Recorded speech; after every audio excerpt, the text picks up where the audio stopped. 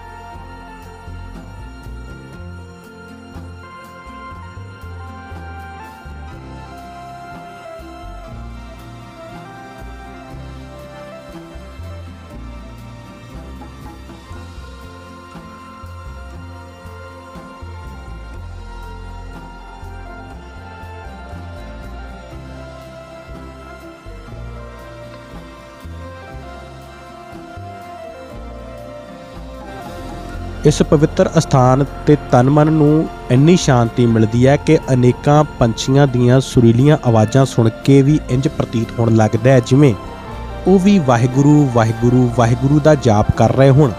ਆਓ ਕਰੀਏ ਦਰਸ਼ਨ ਤੇ ਜਾਣੀਏ ਇਸ ਪਵਿੱਤਰ ਅਸਥਾਨ ਦੇ ਇਤਿਹਾਸ ਬਾਰੇ।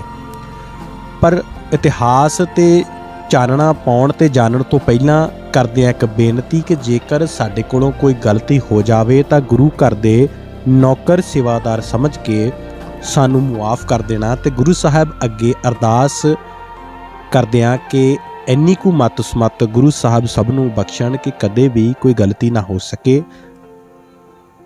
ਗੁਰਦੁਆਰਾ ਸਾਹਿਬ ਹਰੀਆਂ ਵੇਲਾ ਉਹ ਪਵਿੱਤਰ ਅਸਥਾਨ ਹੈ ਜਿੱਥੇ ਸਤਿਗੁਰੂ ਸ੍ਰੀ ਗੁਰੂ ਹਰਿਰਾਏ ਸਾਹਿਬ ਮਹਾਰਾਜ ਜੀ ਨੇ ਪੰਜਾਬ ਦੇ ਪ੍ਰਸਿੱਧ ਇਤਿਹਾਸਕ ਅਸਥਾਨ ਸ੍ਰੀ ਕੀਰਤਪੁਰ ਸਾਹਿਬ ਤੋਂ ਚੱਲ ਕੇ ਆਪਣੇ 2200 ਘੋੜ ਸਵਾਰ ਸੈਨਾ ਸਮੇਤ ਆਪਣੇ ਪਵਿੱਤਰ ਚਰਨ ਕਮਲਾਂ ਦੀ ਛੋਹ ਦੁਆਰਾ ਇਸ ਪਾਵਨ ਅਸਥਾਨ ਨੂੰ ਰਮਣੀਕ ਬਣਾਇਆ।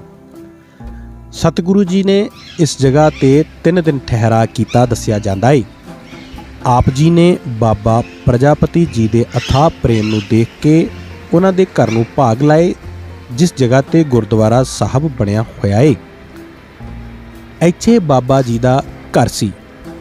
ਮਹਾਰਾਜ ਜੀ ਦੇ ਆਉਣ ਨੂੰ ਸੁਣ ਕੇ ਸਭ ਸੰਗਤਾਂ ਇਕੱਤਰ ਹੋ ਗਈਆਂ। ਬਖਸ਼ਿਸ਼ਾਂ ਦੇ ਭੰਡਾਰ, ਨੂਰੀ ਜੋਤ ਦੇ ਅਗੰਮੀ ਨਾਦ ਸ਼ਬਦਾਂ ਦੀ ਧੁਨ ਨੇ ਅੰਧੇਰੇ ਜਗਤ ਨੂੰ ਇੱਕਦਮ ਜਗਮਗਾ ਦਿੱਤਾ। ਰੱਬ ਦੇ ਪਿਆਰ ਵਾਲੇ ਭੌਰੇ ਗੁਰੂ ਜੀ ਦੇ ਪਵਿੱਤਰ ਚਰਨਾਂ ਤੋਂ ਨਿਛਾਵਰ ਹੋਣ ਲਈ ਉਮੜ ਪਏ।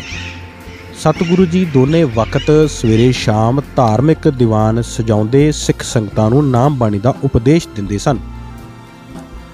ਸਭ ਸਿੱਖ ਸੰਗਤਾਂ ਦੀਆਂ ਮਨੋ ਕਾਮਨਾਵਾਂ ਪੂਰਨ ਹੋਈਆਂ। ਬਾਬਾ ਪ੍ਰਜਾਪਤੀ ਜੀ ਨੇ ਸਤਿਗੁਰੂ ਜੀ ਦੇ ਘੋੜੇ ਨੂੰ ਜੜਾਂ ਤੋਂ ਪੁੱਟ ਕੇ ਵੇਲਾਂ ਖਵਾਈਆਂ, ਵੇਲਾਂ ਛੱਕ ਕੇ ਘੋੜਾ ਬਹੁਤ ਪ੍ਰਸੰਨ ਹੋਇਆ। ਜਿਸ ਤੋਂ ਬਾਅਦ ਮਹਾਰਾਜ ਜੀ ਨੇ ਆਪਣੇ ਘੋੜੇ ਵੱਲ ਤੱਕਿਆ ਤਾਂ ਘੋੜਾ ਬੜਾ ਖੁਸ਼ ਦਿਖਾਈ ਦਿੱਤਾ। ਸਤਿਗੁਰੂ ਜੀ ਨੇ ਬਾਬਾ ਪ੍ਰਜਾਪਤੀ ਜੀ ਨੂੰ ਪੁੱਛਿਆ ਕਿ ਤੁਸਾਂ ਨੇ ਸਾਡੇ ਘੋੜੇ ਨੂੰ ਕੀ ਖਵਾਇਆ ਏ? ਘੋੜਾ ਤਾਂ ਬਹੁਤ ਖੁਸ਼ ਹੋ ਰਿਹਾ ਏ। ਬਾਬਾ ਪ੍ਰਜਾਪਤ ਜੀ ਨੇ ਕਿਹਾ ਕਿ ਮਹਾਰਾਜ, ਮੈਂ ਗਰੀਬ ਨੇ ਆਪ ਜੀ ਦੇ ਘੋੜੇ ਨੂੰ ਕੀ ਖਵਾਉਣਾ ਹੈ? ਇਹ ਮਹਾਰਾਜ ਮੇਰੇ ਵਿਹੜੇ ਵਿੱਚ ਵੇਲਾਂ ਲੱਗੀਆਂ ਸਨ। ਇਹੋ ਜੜਾਂ ਤੋਂ ਪੁੱਟ ਕੇ ਮੈਂ ਤੁਹਾਡੇ ਘੋੜੇ ਨੂੰ ਪਾ ਦਿੱਤੀਆਂ। ਸਤਿਗੁਰੂ ਜੀ ਨੇ ਕਿਹਾ ਕਿ ਆਪ ਨੇ ਸਾਡੇ ਘੋੜੇ ਦੀ ਬਹੁਤ ਸੇਵਾ ਕੀਤੀ ਹੈ। ਇਹ ਵੇਲਾਂ ਤੇਰੇ ਘਰ ਦੀਆਂ ਇਸ ਲੋਕ ਸਦਾ ਹੀ ਹਰੀਆਂ ਭਰੀਆਂ ਰਹਿਣਗੀਆਂ ਅਤੇ ਪਰਲੋਕ ਵਿੱਚ ਵੀ ਸਦਾ ਸੁਖੀ ਹੀ ਹਰੀਆਂ ਭਰੀਆਂ ਉਹ ਵੇਲਾਂ ਅੱਜ ਤੱਕ ਰਹੀਆਂ ਦਿਖਾਈ ਦਿੰਦੀਆਂ ਹਨ। ਜਿਸ ਖਜੂਰ ਦੇ ਦਰਖਤ ਨਾਲ ਮਹਾਰਾਜ ਜੀ ਦਾ ਘੋੜਾ ਬੰਨਿਆ ਸੀ, ਉਹ ਖਜੂਰ ਦਾ ਦਰਖਤ ਨਿਸ਼ਾਨ ਸਾਹਿਬ ਦੇ ਬਿਲਕੁਲ ਨਜ਼ਦੀਕ ਸੁਸ਼ੋਭਿਤ ਹੈ। ਜਦੋਂ ਮਹਾਰਾਜ ਜੀ ਇੱਥੇ ਆਏ ਸਨ ਆਲੇ ਦੁਆਲੇ ਕਿਤੇ ਵੀ ਜਲ ਨਹੀਂ ਸੀ।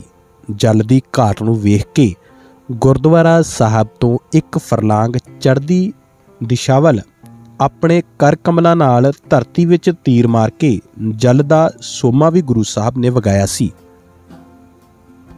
ਸਭ ਸੰਗਤਾਂ ਅਤੇ ਘੋੜਿਆਂ ਨੇ ਇੱਥੋਂ ਹੀ ਜਲ ਛਕਿਆ। ਸਤਿਗੁਰੂ ਜੀ ਨੇ ਮਿਹਰ ਦੀ ਨਿਗਾਹ ਕਰਕੇ ਵਰ ਦਿੱਤਾ ਕਿ ਜੋ ਵੀ ਪ੍ਰੇਮੀ ਸ਼ਰਧਾ ਧਾਰ ਕੇ ਇਸ ਪਵਿੱਤਰ ਸੋਮੇ ਵਿੱਚ ਇਸ਼ਨਾਨ ਕਰੇਗਾ, ਉਸ ਦੀਆਂ ਸਭ ਮਨੋ ਕਾਮਨਾਵਾਂ ਪੂਰਨ ਹੋਣਗੀਆਂ ਅਤੇ ਉਸ ਦਾ ਸਰੀਰ ਸੁੱਕੇ ਤੋਂ ਹਰਾ ਹੋ ਕੇ ਮੋਤੀਆਂ ਵਾਂਗ ਚਮਕ ਉਠੇਗਾ ਅਤੇ ਉਸ ਦੀਆਂ ਸੁੱਕੀਆਂ ਵੇਲਾਂ ਹਰੀਆਂ ਰਹਿਣਗੀਆਂ। ਸਭ ਸੰਗਤਾਂ ਸੈਂਕੜੇ ਹਜ਼ਾਰਾਂ ਮੀਲ ਦੂਰ ਤੋਂ ਚੱਲ ਕੇ ਮੋਤੀ ਸਰੋਵਰ ਵਿੱਚ ਮੱਸਿਆ, ਸੰਗਰਾਂਦ ਅਤੇ ਹਰ ਐਤਵਾਰ ਨੂੰ ਪ੍ਰੇਮ ਨਾਲ ਇਸ਼ਨਾਨ ਕਰਕੇ ਆਪਣਾ ਤਨ ਮਨ ਪਵਿੱਤਰ ਕਰਦੀਆਂ ਹਨ। ਇਸੇ ਹੀ ਪਵਿੱਤਰ ਅਸਥਾਨ ਤੇ ਕਲਗੀਧਰ ਜੀ ਦੇ ਵੱਡੇ ਸਾਹਿਬਜ਼ਾਦਾ ਬਾਬਾ ਅਜੀਤ ਸਿੰਘ ਜੀ 100 ਸਿੰਘਾਂ ਦੇ ਜਥੇ ਸਮੇਤ ਸ੍ਰੀ ਅਨੰਦਪੁਰ ਸਾਹਿਬ ਤੋਂ, ਮਾਹਿਲਪੁਰ ਸ਼ਹੀਦਾਂ ਲੱਦੇਵਾਲ ਅਤੇ ਚੁਖੰਡੀ ਸਾਹਿਬ ਬਜਰੌਰ ਤੋਂ ਹੁੰਦੇ ਹੋਏ, ਆਪ ਜੀ ਪਰਸਰਾਮ ਬ੍ਰਾਹਮਣ ਦੀ ਇਸਤਰੀ ਜਾਬਰ ਖਾਂ ਪਠਾਨ ਤੋਂ ਛੁਡਾਉਣ ਲਈ ਪੁੱਜੇ ਸਨ। ਦੱਖਣ ਦੀ ਦਿਸ਼ਾ ਗੁਰਦੁਆਰਾ ਸਾਹਿਬ ਪਾਸ ਜੋ ਨਿਸ਼ਾਨ ਸਾਹਿਬ ਲੱਗਾ ਹੈ ਇੱਥੇ ਬਾਬਾ ਅਜੀਤ ਸਿੰਘ ਜੀ ਆ ਕੇ ਬੈਠੇ ਸਨ ਜਿਸ ਦੇ ਦਰਸ਼ਨ ਤੁਸੀਂ ਵੀਡੀਓ ਦੇ ਰਾਹੀਂ ਕਰ ਰਹੇ ਹੋ। ਜਾਬਰ ਖਾਨ ਨਾਲ ਭਾਰੀ ਲੜਾਈ ਹੋਈ, ਬਹੁਤ ਸਾਰੇ ਸਿੰਘ ਵੀ ਸ਼ਹੀਦ ਹੋਏ, ਜਿਨ੍ਹਾਂ ਦਾ ਅੰਤਿਮ ਸੰਸਕਾਰ ਗੁਰਦੁਆਰਾ ਸਾਹਿਬ ਜੀ ਦੇ ਨਜ਼ਦੀਕ ਹੀ ਕੀਤਾ ਗਿਆ। ਇਸ ਗੁਰਦੁਆਰੇ ਦੀ ਸੇਵਾ ਜਥੇਦਾਰ ਸੰਤ ਬਾਬਾ ਨਿਹਾਲ ਸਿੰਘ ਜੀ, ਨਿਹੰਗ ਸਿੰਘ ਕਰਵਾ ਰਹੇ ਹਨ।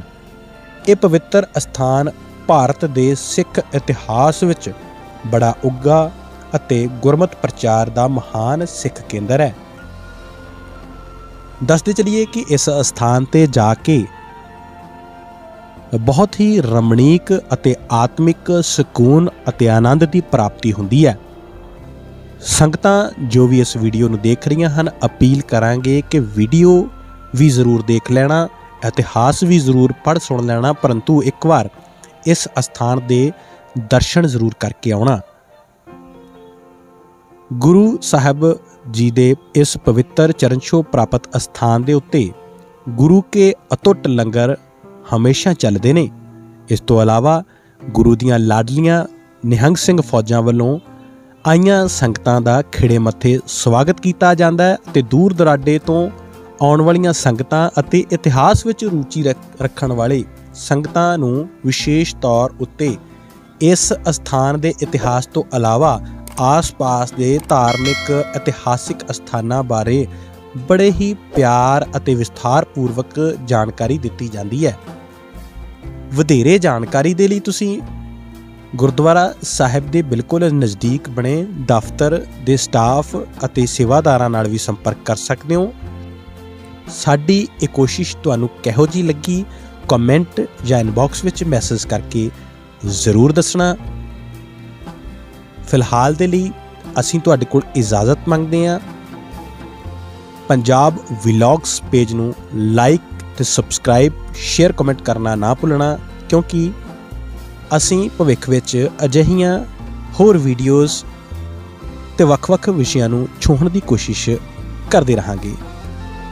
ਮੈਂ ਤੁਹਾਡਾ ਦੋਸਤ ਗੋਵਿੰਦਜੀਤ ਸਿੰਘ ਮੰਗਦਾ ਹਾਂ ਇਜਾਜ਼ਤ। ਜਲਦ ਹੀ ਦੁਬਾਰਾ ਹੋਵੇਗੀ ਮੁਲਾਕਾਤ। ਕਰਦੇ ਹਾਂ ਵਾਦਾ ਸ਼ਬਾ ਖੈਰ, ਧੰਨਵਾਦ। ਜਲਦ ਮਿਲਦੇ ਹਾਂ।